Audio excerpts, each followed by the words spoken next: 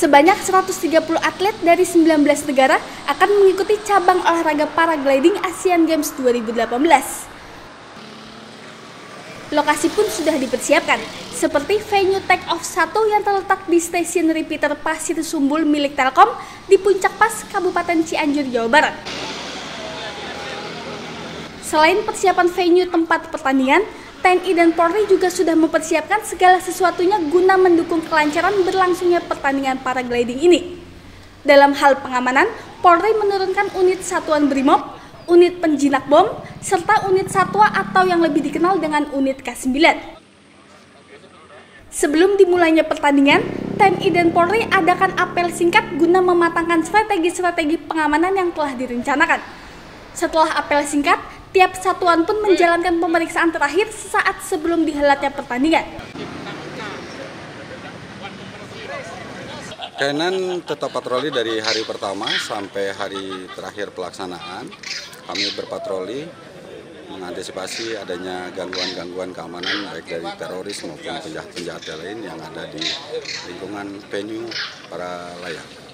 Sampai saat ini dari Kinen mengantisipasi tidak ada hambatan ataupun gangguan dari luar maupun atlet pun bisa eh, melaksanakan kegiatan dengan baik. Tampak dua ekor anjing pelacak umum dari unit Satwa K9 menelusuri jalan-jalan akses menuju landasan take off para atlet paragliding. Selain itu, unit penjinak bom juga melakukan tugasnya dengan memeriksa barang-barang bawaan yang dibawa setiap pengunjung yang memasuki area pertandingan paragliding. Kita dari PAM paragliding ini disiapkan satu unit uh, J-Bomb satu tim di take off dan satu tim di landing. Prosedurnya kita melaksanakan sterilisasi. J-2 atau min 1 melaksanakan steril.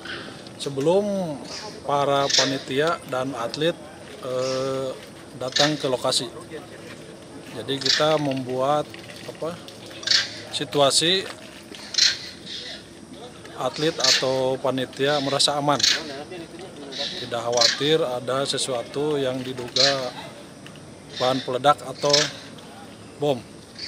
Dari Puncak Cianjur, Jawa Barat, Tim Liputan Tribrata TV, salam Tribrata.